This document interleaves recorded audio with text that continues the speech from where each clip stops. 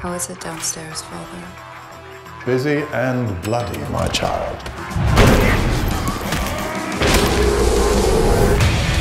Listen carefully. You give us disposable men to fight to their deaths. I give you disposable income. Means we're making money. This is my world. I control everything in it. Serena Marcos, a friend of yours. Do I seem like someone who has a lot of friends to you?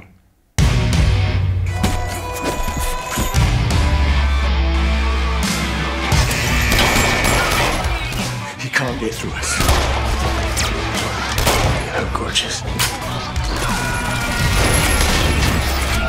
On one, we ran the door. Three, two, one. You forgot the ram. We didn't bring the ram, ma'am, mom. Ram, man. Stop saying frickin' ram.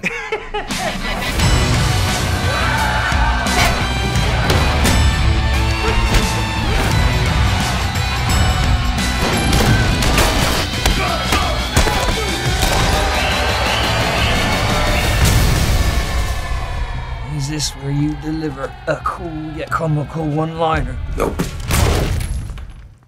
Hey, Lisa here with a bonus behind the scenes movie fact. Did you know that there's a Starbucks cup in every Fight Club scene? Director David Fincher thought the Starbucks shops popping up on every block of LA in the late 90s was too much of a good thing. So he poked fun of the coffee chain in Fight Club. He's claimed to have sneaked a Starbucks cup into every shot, with permission of the chain, of course. With one exception, Starbucks didn't want its shop destroyed on the film. Do you like my shirt? You can get one for yourself in the link in the description.